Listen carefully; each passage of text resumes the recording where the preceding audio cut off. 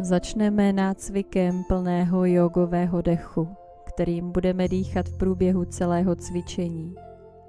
Nadechujeme se zhluboka a s výdechem pomalu zvedáme pánev a přecházíme do hlubokého předklonu. Pokládáme chodidla na šířku boku od sebe. Vnější strany chodidel jsou rovnoběžné. Mírně pokrčíme kolena a zhoupneme se na chodidlech. Otáčíme se k pravé noze, vytáčíme pravou špičku do strany a pokládáme levou nohu na levý okraj podložky.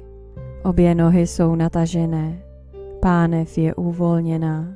S nádechem narovnáme a protáhneme záda, zvedneme a rozšíříme ramena a hrudník a s výdechem se skláníme k pravé noze. Hlavu necháme volně vyset. Levá kyčel klesá dolů. Kyčel, koleno i kotník jsou uvolněné. Dýcháme do celého těla.